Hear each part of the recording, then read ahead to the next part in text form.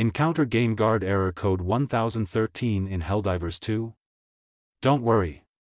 Follow these troubleshooting steps to resolve the issue and get back to battling the alien menace without interruption. GameGuard error code 1013 in Helldivers 2 indicates an issue with the GameGuard anti-cheat program initialization. This guide provides step-by-step -step solutions to overcome this error and ensure smooth gameplay. 1.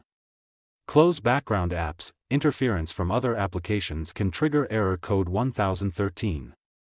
Follow these steps to close background apps, open Task Manager, Control Shift ESC, dot, end tasks of unnecessary background apps to minimize conflicts. 2. Disable antivirus real-time protection.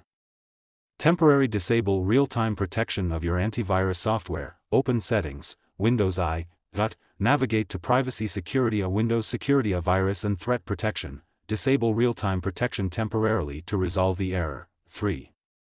Update graphics drivers, ensure your graphics drivers are up to date, open Device Manager, Windows X, update your graphics card driver under display adapters, restart your PC after updating the driver. 4.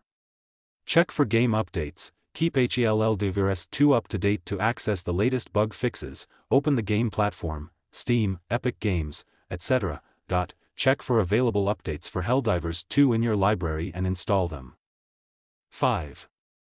Verify game files, verify the integrity of Helldivers 2 game files to fix any corruption, open the game platform, Steam, Epic Games, etc.